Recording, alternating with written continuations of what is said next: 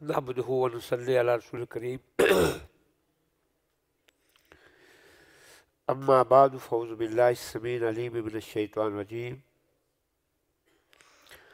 هل يستوي الذين يعلمون والذين لا يعلمون؟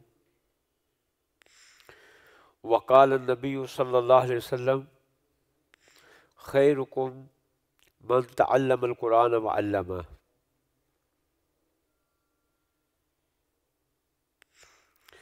الحمد لله ثم الحمد لله سررت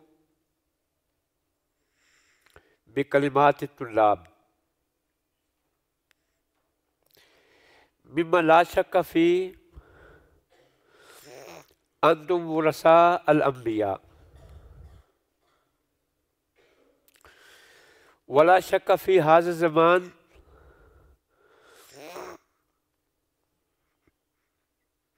قد كسر الجهل وعم. وانتشر البدء والزلال. فأنتم ورثاء الأنبياء فلا بد تتقوون. قووا أنفسكم. بالعلم. لأن هذا علم هذا سلاحكم لا بد تتعلمون وتجتهدون وتخلصون.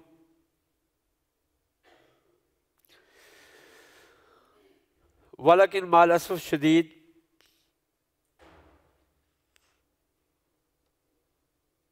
لكم مكانة. الملائكة تضع أجنحتها رزا بما تطلبون. فلا بد نحن أيضا نتصف بصفات السامية بصفات الكريمة. مثل ما نبین ہونا کا سیرت رسول اللہ صلی اللہ علیہ وسلم. مثل ما نبین ہونا کا سیرت ابی بکر صدیق رضی اللہ تعالی عنہ. مثل ما نبین ہونا کا صفات السامیہ لہاؤلائے وکزال کا نقدم خلقہ ولا بد نحن أيضا نتصف بهذه الأشياء. من ناحية العلم نجتهد. ثم بعد ذلك من ناحية العمل أيضا.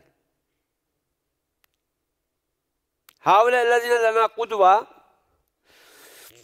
هل كانوا هم علماء فقط؟ أو كانوا عاملين أيضا؟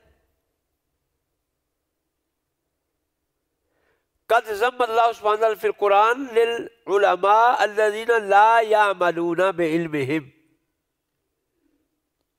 كما لنا شرف ولنا فضل بسبب تعلم العلم الشرعي. ولا بد أن نخاف من ربنا أيضا إذا نلقي هذه الكلمات الجميلة والسامية ثم بعد ذلك أعمالنا لا تصدق هذه الصفات. فماذا يقول الله لما تقولون ما لا تفعلون؟ نبين سيرة أبي بكر. ولا يوجد فينا أي صفة من صفات أبي بكر. نحن ورثاء الأنبياء والله سبحانه يقول في القرآن لكم في رسول الله قدوة حسنة.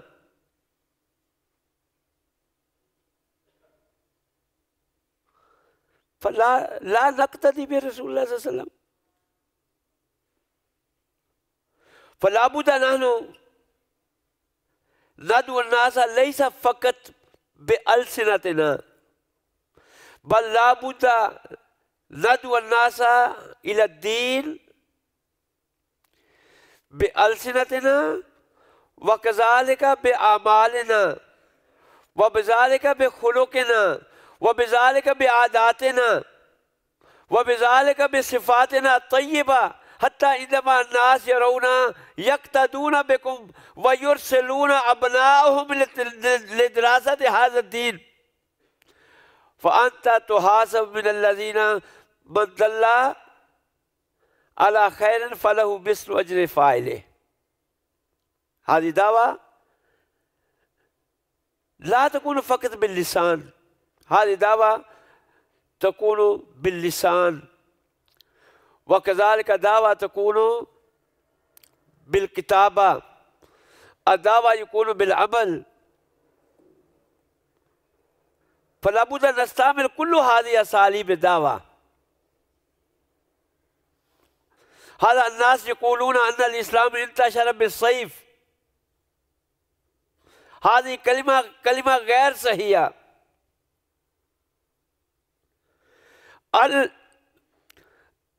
الإسلام انتشر بأخلاق أصحاب رسول الله صلى الله عليه وسلم. وبأخلاق رسول الله صلى الله عليه وسلم. كل من كان يلتقي برسول الله صلى الله عليه وسلم ثم كان يدخل في الإسلام. هذا كان خلق رسول الله صلى الله عليه وسلم.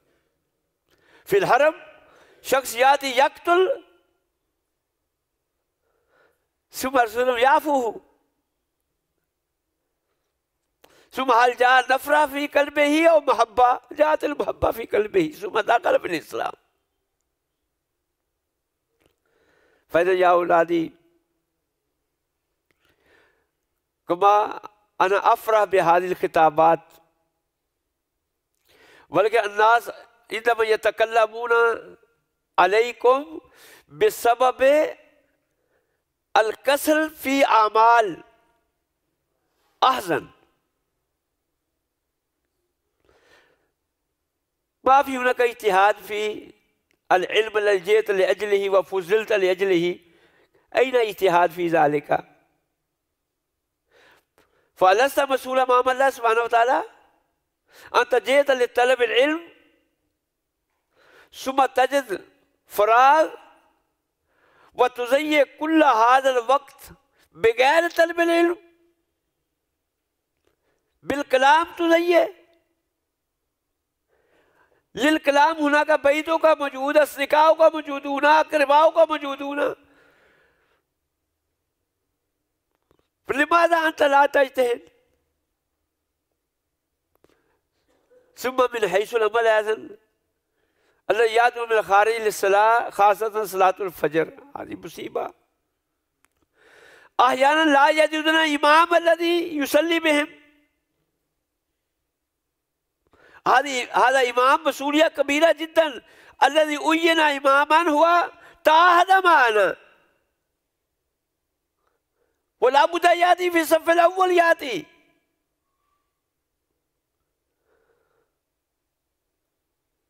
ثم في صلاة الفجر كم من الناس؟ اتركوا صلاة الفجر. هذا صلاة الظهر كلنا مستيقظين. أتلنا دراسة. قبل الأذان بربع ساعة ثم هناك نصف طلاب واقفون.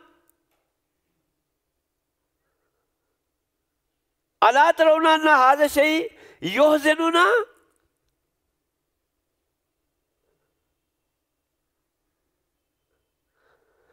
لابد نحن كما أعطينا بالفضل. لابد تكون فينا صفات أيضا صفات سامية. الناس يغلقون الدكاكين ونحن لا نخرج من الغرف. هذا عيب كبير. هذا عيب كبير نحن نحن نحن نحزن على ذلك. أنتم توزوننا بهذا العمل. توزوننا.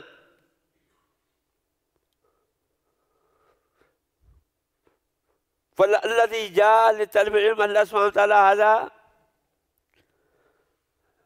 أنعم عليه. هذه نعمة كبيرة جدا. الله سبحانه وتعالى اختاركم لطلب العلم. أما الطالب في كلية الحديث لا يجتهد. طالب كلية الحديث لا يجتهد. في التبور لا يأتي. لماذا لا يموت إذن؟ هذا موته أحسن من هذه الحياة.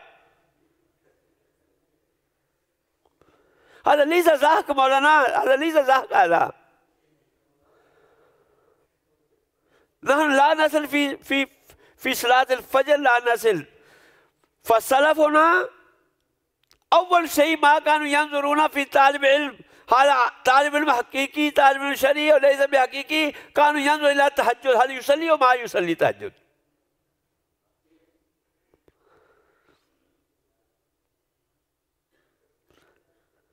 فنحن في حياتنا ما صلينا. فأنتم تعرفون كل ما نعمل أعمال الخير فالله سبحانه وتعالى يبارك في علمنا. لأن هذا علم ليس علم الدنيا هذا علم الدين. هذا لا يكون إلا للاتقياء. فالتقي من يكون تقيا؟ الذي يتشوق إلى الخير يتشوق بشوق يأتي للصلاة يتشوق لا يقول ما أكذني أحد. كيف ما أكذك أحد؟ أنت طفل صغير. هذا تستعمل الموبايل في كل ليلة للشر. ولا تستعمل للخير. للخير لا تستعمله. لا تقول لزميلك اعكسني بل تكذب على زميلك إذا يوكزك هذه صفة جيدة هذا ليس جيدا إذا نريد هناك نقول ربانيين هذا يتطلب منا الأزهية لابد أن نترك الراحة ثم إن شاء الله لازم يرفعكم هذا هذا هذا هذا هذا لابد أن في صلاة الظهر لابد أنا أنا أريد أن أرى طلابي أبنائي كل واحد يأتي يصلي ركعتين أربع ركعات قبل إقامة الصلاة. هذا هو المطلوب. هذا هو المطلوب. ليس مطلوب أنا صليت مع الجماعة في آخر آخر صف وجدت هناك تشهد صليت مع الجماعة. أي جماعة هذه؟ هذه ليس ذاك مولانا لأن هذه قلوبنا قد ماتت قلوبنا قد ماتت إذا عملنا بالشر نحن لا نحس بها لا يأتي في قلوبنا القلق لا يأتي في قلوبنا الخوف من الله سبحانه وتعالى كيف أنت في داخل المسجد ثم تترك السنن؟ كيف كيف أنت أنت تترك السنن في داخل المسجد؟ سنن قبلية؟ رسول الله صلى الله عليه وسلم ما ترك في حياته كيف أنت مسلم؟ كيف أنت تقتدي برسول الله صلى الله عليه وسلم؟ كيف تريد أن تكون مع رسول الله صلى الله عليه وسلم بعد موتك؟ فإن شاء الله الذي يحاول الله سبحانه يساعده. فلا بد نحن نخلص نياتنا. وإذا يأتي هناك للطلب العلم هناك مشقة نتحمل. الراحة نترك.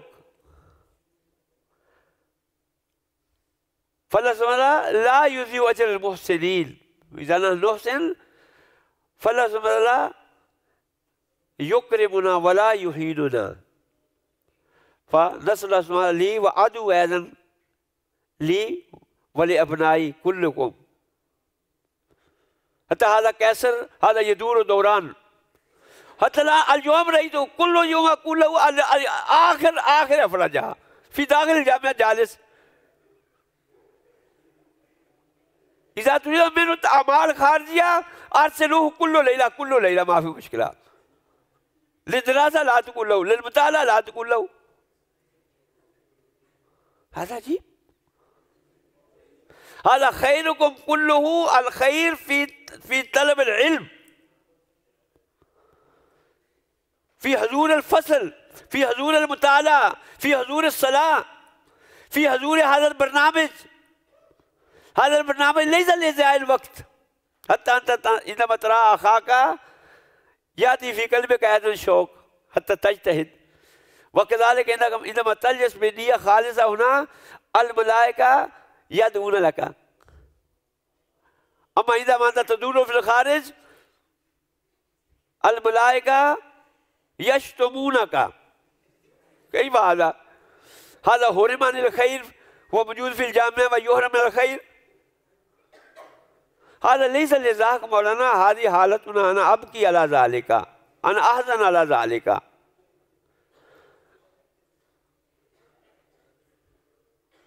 ونسأل الله أن يوفقنا أن يوفقنا إلى الخيرات. ولا بد أن نخلص نياتنا أيضا. وكذلك نطلب من الله سبحانه الدعاء لا بد أن ندعو كل وقت من الله سبحانه وتعالى حتى هو يهدينا ويوفقنا وجزاكم الله خيرا.